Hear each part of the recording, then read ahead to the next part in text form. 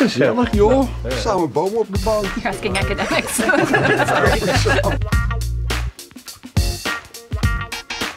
Er zitten altijd mensen bij die meteen opvallen. En waar je meteen een klik mee hebt of, of juist niet. Well, I think about this. Maybe Roel can answer this question. Okay. Yeah.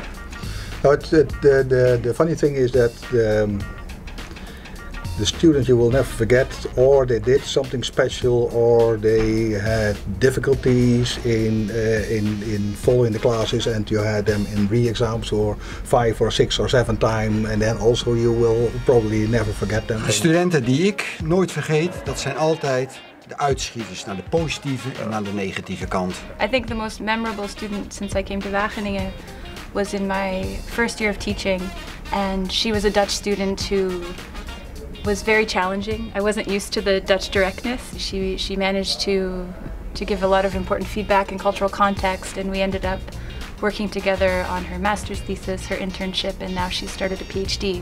Iemand die ik Ja. eh, nooit meer vergeet, eh, die eh, heb ik voor het eerst gezien eh, op de introductiedagen. En die kwam later ook studeren. En, eh, en die jongen was zo verschrikkelijk goed.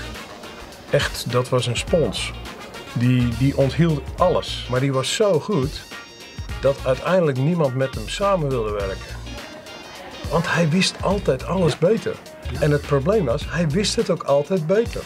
Je hebt ook mensen die minder intelligent zijn en hier ook studeren en die met de meest grote moeite de vakken proberen te halen. En daar heb ik ontzettend veel respect voor.